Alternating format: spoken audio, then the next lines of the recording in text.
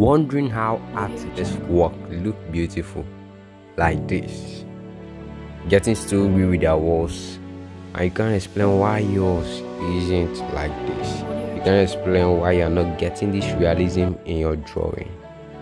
Well i think there are some things you are not doing right. So the question is what are the things you are not doing right what are the possible things that makes these pro artists get hyperrealism in their works? Then you get this in your works.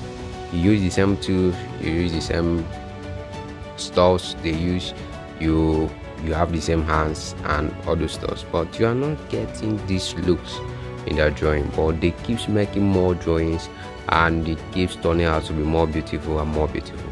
So if you're one of that guy you just click the right video and i'll take you through the steps that we pro artists go through and the things you are not doing right that is making your work look barely beautiful or look rough a bit. I've seen many artists that that their works are a little bit rough dirty. These are all the mistakes you do. So i'm taking you through all those steps and you follow it bit by bit to understand everything about to take and put and practice them on your own. Well, let's get to the first one. So, the first one on my list is sketching. Which one is right? Sketching is very, very important in your drawing. That's why you need to take your time to make your outlines well. Make it with your, you can even spend more time than shading you can spend more time in sketching than shading because you need to get the proportion everything accurate the shape the mouth every stuff because once you start shading especially for pen artists pen guys you understand. I want to start shading with pen there is no erasing it or whatever or start over. All you can do to a damaged drawing is to start over again.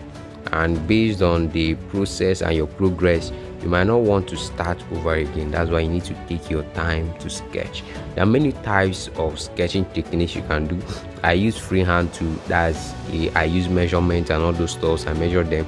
You can use tracing tool. Tracing tool just like printing a stuff then tracing them on the paper. Just make sure you get what you want accurate you can use grid.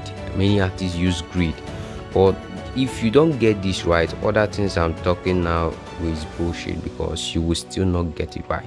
This is the first lead and this is the first tool you must consider when you start drawing. Whatever drawing you are making or whatever thing you decide to make. So this will give you a guide. You need to you need to outline the place that are too light the place that looks dark and the place that looks soft. You get? So is in that sketching that you can do all this stuff so take your time to sketch. Make sure you take your time to sketch. Make sure you get that stuff accurate before you proceed to shading. Don't just run to shading. Shading will mess you up if you didn't get the sketching part. You understand?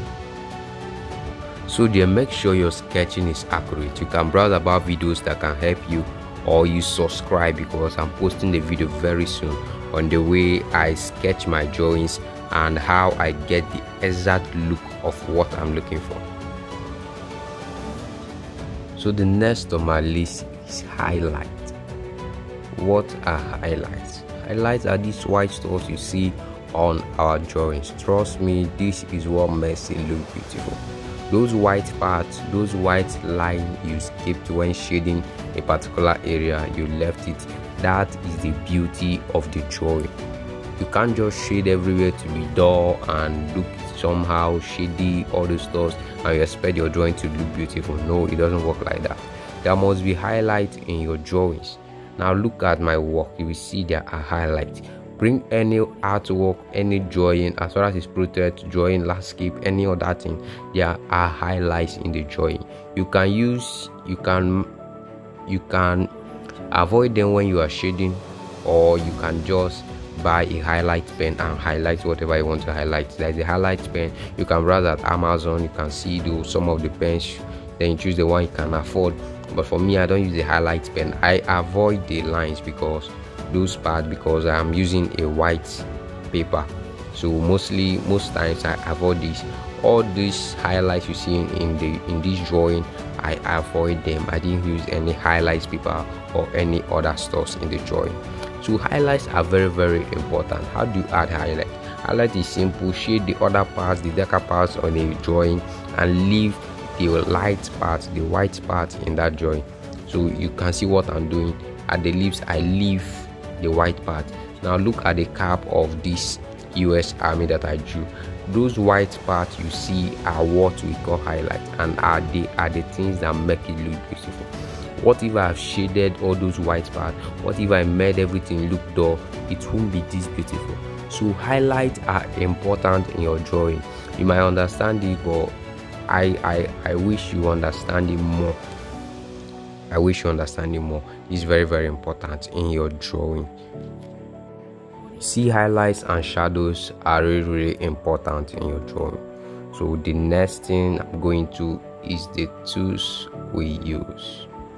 You don't just get this art form or art glue by random paper or random tools you bought in the market or normally white paper. No, you use a paper for drawing.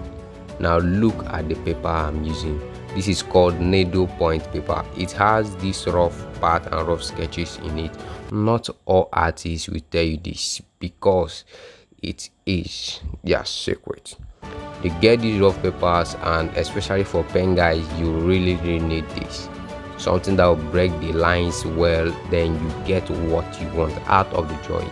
This is called for this paper is called fine line paper i use this and needlepoint paper and use them a lot and they turn out to be very very very good these papers are very very good and they are very, very affordable there's no nothing they are very very cheap so can get one or two for yourself. In this other drawing this is the paper i use needle point paper. See what you need here is something that will break those lines and getting the skin texture you want in the drawing because the human skin is naturally rough. When you zoom in in human skin in a human skin you will see some white and dark spots in the skin. So this is what you are trying to represent using this paper is easy and most artists don't say this so get yourself a rough paper skin uh, drawing then thank me later. Now let's go over to the tools i'm using. I'm showing you the ones i'm using. I don't know the ones other guys are using because there are lots of pen there are lots of tools there are lots of drawing there are lots of pencil materials there are lots of charcoal you can use. But these are the ones i use. For me i'm using Bic pen Bic crystal pen what is big pen big pen uh, i love it because it has a ball at the mouth. So the mostly usually when you are drawing the ball is rolling and you are getting a very very solid color. I love the color that it turns out to be both the black color and the blue color. I use them most almost on my drawings.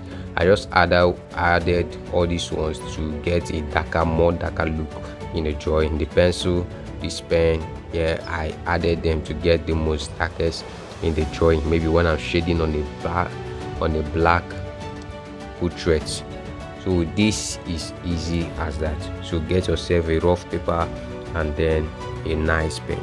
So what are we doing next? So there we need to know about the shading technique you are using. Whether you're a pen artist pencil artist graphite you need to know the shading that will suit your drawing perfectly fine. For pen drawing this is the one i do and it has really really helped me a lot. It is easy to use and it is faster. I'm serious. It is faster.